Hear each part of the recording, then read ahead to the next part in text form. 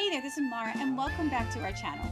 As you may know, Krista and I are your local Hawaii food service equipment and supply manufacturers representatives for some of the best manufacturers in the food service industry.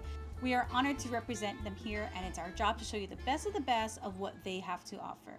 As a manufacturer's representative, it's our job to go out there and field questions or help specify certain pieces of equipment for any kind of application that there is out there. A question that we got asked a lot over the years is how do I organize my space? Where do I begin? What do I need? And where can I get these things from? This video is really meant to guide you in the right direction as to what kind of accessories are out there for you in regards to organization and how it can benefit you as far as your productivity.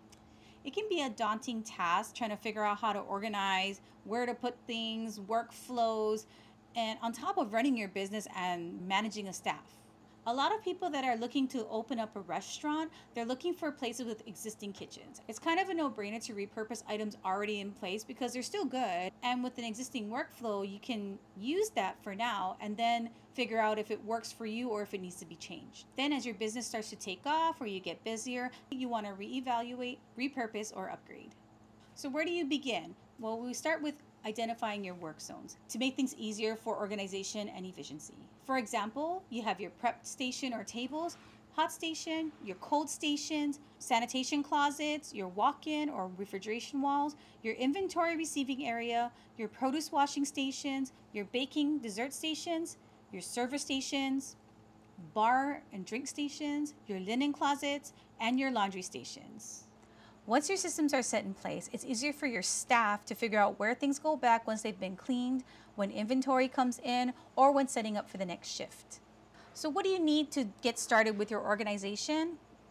Well, it starts with the shelving system itself, the foundation of your organization. Metro Food Service, the leading manufacturer in the commercial kitchen organization and storage space, and also the creator of the original kitchen wire shelvings you see out there that you can get at any hardware store those wire shelves were created by Metro and were patented. And when the patent ran out, that's when everybody started making duplicates of their system. So Metro was smart and came up with a whole bunch of other systems that were proven to be stronger, cleaner, more sanitary, and has a longer lasting life than any of the competitors out there. Which shelving you choose depends on the environment your shelf will be living in. You typically want to stay away from chrome, which is what you'll see in any hardware store or even your food service equipment and supply stores. Chrome is your basic shelf and one of the cheaper versions and what you want to start off with when it comes to dry storage.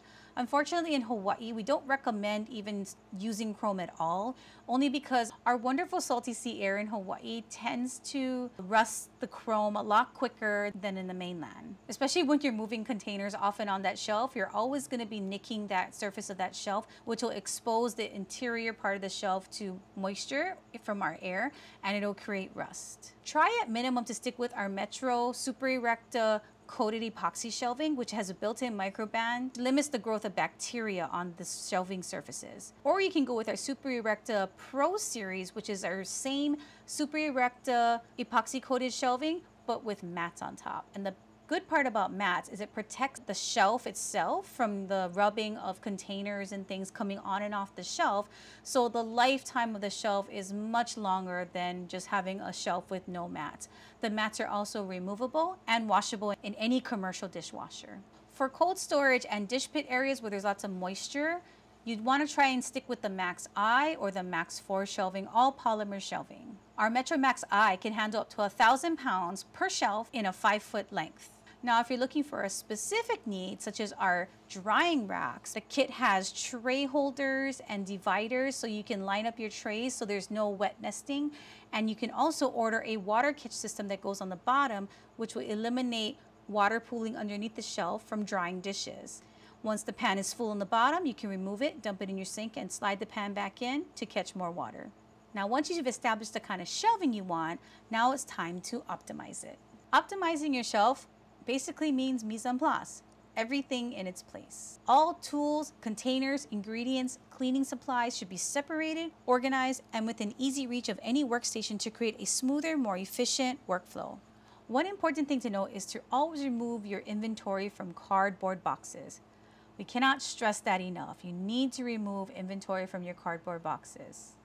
Cardboard boxes are the original organization tool because it's so easy to bring them in from the truck, from your car, or wherever a customer bringing it in and plop them on a shelf or into a refrigeration system.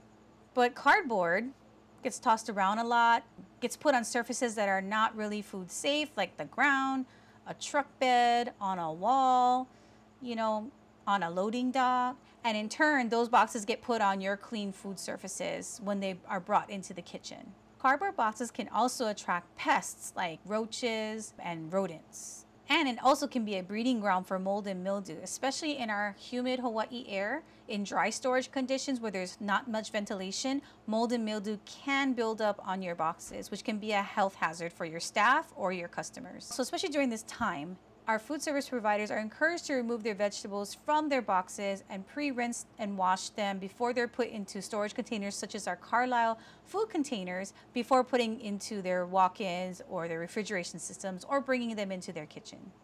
Also, you don't want to be storing a lot of boxes. I know we use boxes for takeout when there's a lot of, you know, plate lunches and stuff like that, but you don't want to risk using a box that was used, let's say, for meat and then using it, giving it to a customer to take their food home in. So the best thing to do is to get all your boxes out of your kitchen. If you're mainly doing takeout, you probably want to consider our Metro Cup storage system. So your storage is within easy reach, but not on your work surface. Or you can remove your items and put them in Carlisle food storage containers with lids. This can be used to store backstock of takeout containers, utensils, or plates. Consider the Carlisle utensil caddy so you can keep your disposable utensils within easy reach so when you're doing your takeout orders, there's no mistakes or forgetting to put them in the bag. Also think about incorporating your work surface into your shelving. That way you can store all your supplies above and not on the work surface so it's free and clear for active orders. For dry storage items, Carlisle food containers will work for your dry ingredients like your flours, pastas, beans, and that way you can remove them from their boxes and also store them in like sized and stackable containers so you're not dealing with an avalanche of different size boxes falling over on top of each other because you're trying to fit all these different things in the same plate. These also come with covers where you can write on them what, what the item is, the date it came in, so it's easy to rotate them and FIFO, first in, first out, all your ingredients. Now, if you do a lot of batch cooking and you do use a lot of those big food cans like tomato sauces, you can consider our Metro Can Organizer. It'll free up your shelf for more usable storage and it'll also give you a FIFO system, first in, first out, so you can make sure you're rotating your cans properly. Bakery areas probably already use our Carlisle rolling ingredient bins, but those things can be really large and bulky and there's just not a good place for them sometimes. So you'll find them sitting kind of stuck in hallways because they just don't have a place to put them. The roll-in rack systems or roll under shelf systems have a three-sided frame so it supports the long legs and it leaves room for the bins to go underneath and then shelving above it so you're not wasting very valuable airspace. So you can stack all your flour, your other baking powders, any type of small ingredients that are light because you don't want to put anything heavy on the top. You want to keep it light and keep the heavy things on the bottom. Another storage hack to consider that I find quite useful are the Metro tray slides. Now, a lot of people use it for its intended purpose, which is putting food trays into like a walk-in on a walk-in shelf so they can get those rolling racks out of there because those rolling racks can be pretty bulky too. So those rolling racks can be good used under the roll-in shelves. But what you can also use them for are makeshift drawers. You can put Carlisle food pans slide them into the tray slides and use them to store utensils, any small little items like food dyes or little things you don't want to get lost, even tools like hammers or screwdrivers that sometimes you need in a kitchen, but you don't want to necessarily put them in with your food storage. So it's a good drawer system to put in your shelving. Another useful space a lot of people forget about is the wall itself. Metro has a smart wall system that has a grid that you can put on the wall itself or you can put them on the sides of shelves or on the top of workstations.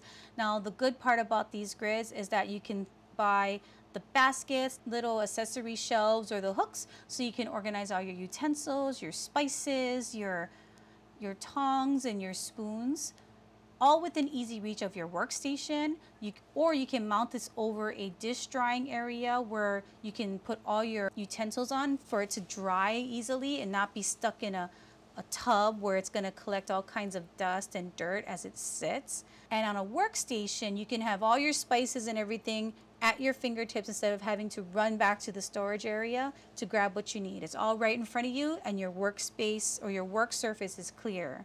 Now, a staple in every food service establishment now is PPE. Metro came out with a PPE holder that hooks right onto an existing wire shelf and it holds any kind of box of gloves, uh, masks, or even tissues.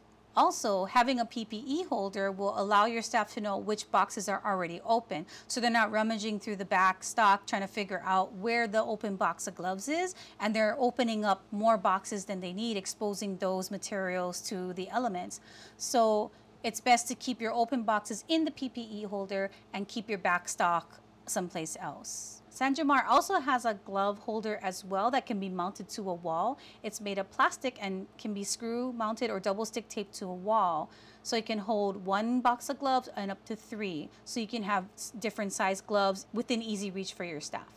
For knife storage, we don't get asked very often how to store knives because people like to store them in different ways, like with magnets and and if they have their own personal knives, they kind of roll them in their little bags.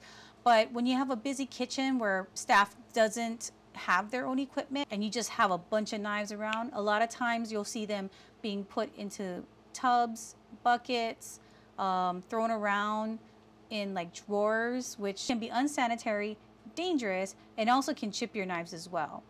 So what we recommend is the San Jamar knife holder which can be mounted to the wall and you can store your knife safely in those knife holders. The San Jamar knife holder stations are also color coded so you can separate them for allergen situations. For example, if you're very specific as to not mixing your meat and vegetable tools together, you can have knives with separate color codes, put them in those holders to make sure that those knives don't get mixed up. And lastly, every kitchen needs a sanitation zone. This is where you store your mops, brooms, buckets, squeegees, cleaners, sanitizers, and all the other items you don't want to mingle with your food items. If there's wall space, you can install a Carlisle broom holder. That way your brooms are not being tossed around or falling over in the hallways when they're not in use. If you need a place for a sanitation bucket, Metro has a sanitation bucket holder which you can put our Carlisle Sani pails inside of them.